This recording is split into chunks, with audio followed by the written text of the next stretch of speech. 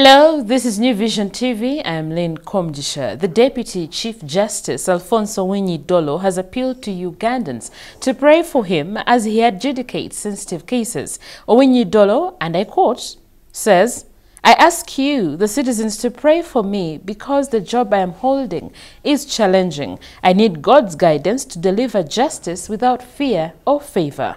He and four other judges recently handled a petition challenging the amendment of the Constitution to remove the presidential age limit. They are yet to deliver the judgment. The other justices are Remmy Kasule, Elizabeth Musoke, Cheborion Barishaki, and Kenneth Kakuru.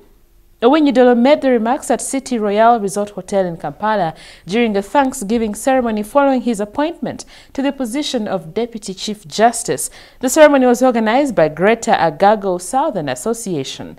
The association was started to promote unity and development in Agago district. During the function, Owiny Dollo said he was an incorruptible man.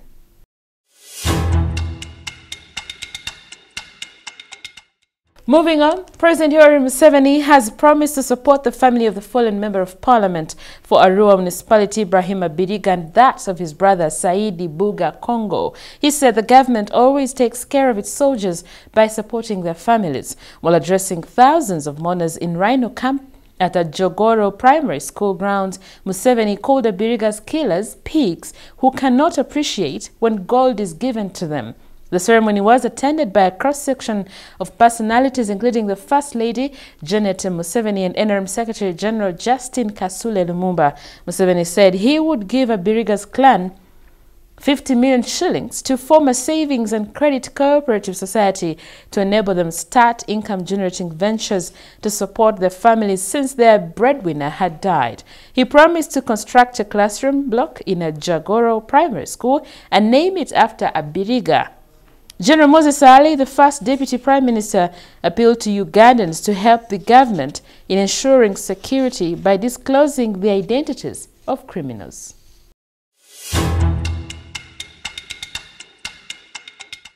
And now, the High Court Judge Susan Okalanya yesterday asked former Lord's Resistance Army rebel commander Thomas Kwoyelo alias Latoni to establish whether the lawyers representing him on private brief have not abandoned him.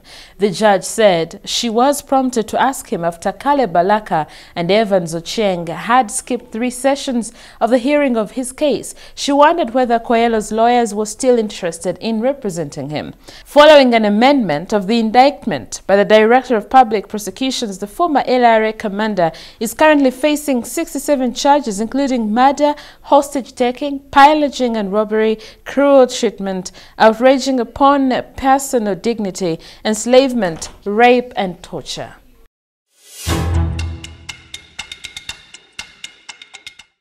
In sports news, cries of poor funding that had become synonymous with Uganda's sports sector could soon be history. Ever since the First Lady, Janet Museveni, took charge of the Education and Sports Ministry in 2016, the sector's fortunes have steadily improved. The latest boost to sport is a 34 billion shillings offer in the 2018-2019 budget. This is more than triple Uganda's past annual sports budgetary allocations. Finance, Planning and Economic Development State Minister David Bahati confirmed the increment recently. In 2018, 2019 budget will be read on Thursday by Minister Kasaija. Representing Minister Matia Kasaija at a National Budget Week sports tournament at Lugogo on Sunday, Bahati explained that the money will be directed to three areas.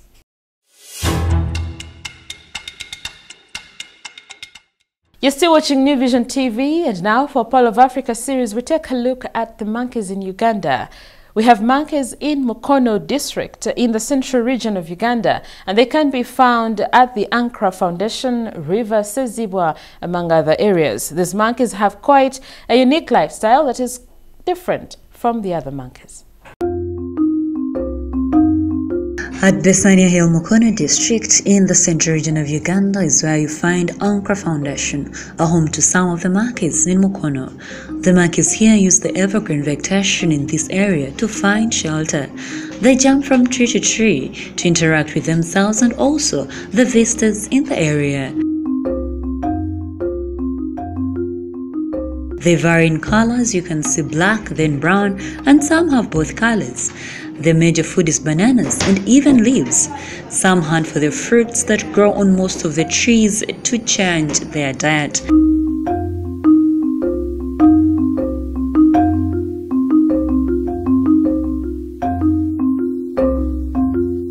However, in the evergreen vegetation at Murchison Falls National Park, monkeys of all sizes call this home. These monkeys feed on the leaves in a more unique way. They actually behave more less than a human being who has lived in the forest for years. Tourists from across the region express excitement when they meet these monkeys. Monkeys are spread across the country in each and every forest. Tourists can find them there. Now from Pearl of Africa Stories, visit our website www.newvision.co.ug. Our newspaper, The Sunday Vision, is also another home of adventures, so grab your copy every Sunday for Pearl of Africa Stories.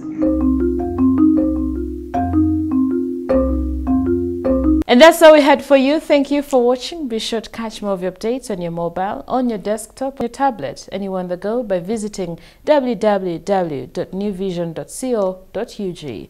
I am Lynn Komjisha.